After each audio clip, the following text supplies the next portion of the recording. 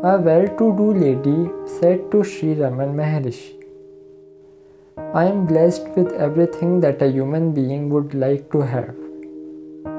Her voice choked. Controlling herself, she continued slowly.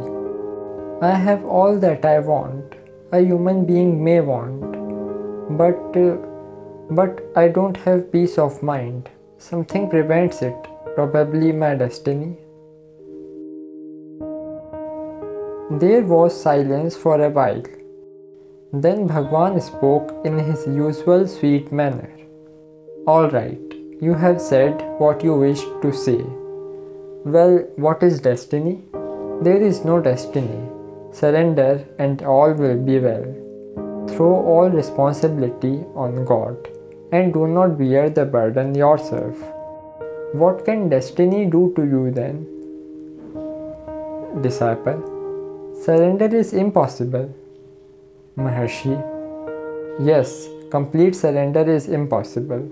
Partial surrender is certainly possible for all. In the course of time, that will lead to complete surrender. Well, if surrender is impossible, what can be done? There is no peace of mind.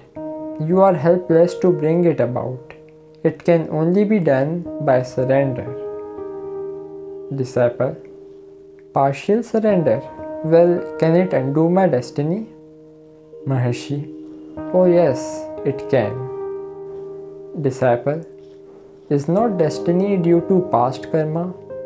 Maharshi If one is surrendered to God, God will look to it. Disciple That being God's dispensation, how does God undo it? Maharshi All are in Him only.